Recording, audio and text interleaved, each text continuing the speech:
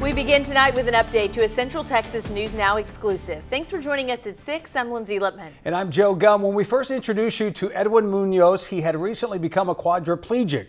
As Olivia Leveda reports, the former UMHB football player's accident at Belton Lake left him with extensive medical bills. And today, those close to Munoz band together to raise funds for him in a big way.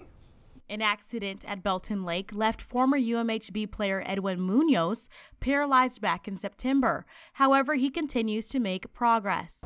Uh, leg kicking, so I'm pretty much already walking in the pool with uh, with with major assistance still, but I'm still the one, I'm the one initiating movements. And that improvement has come at quite the price.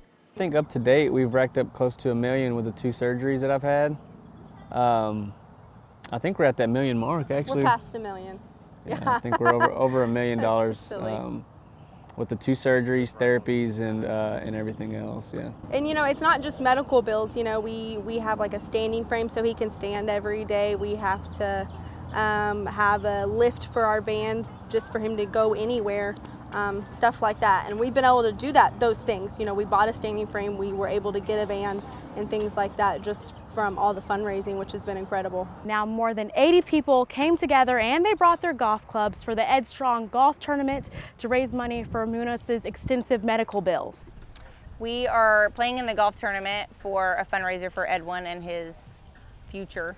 It's amazing. It's been a great turnout. We have a lot of supporters. We have over 80 golfers.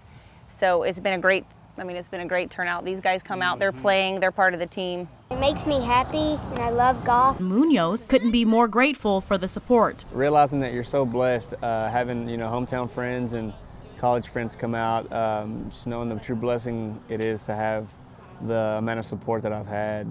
In Temple, Olivia Leveda, Central Texas News Now.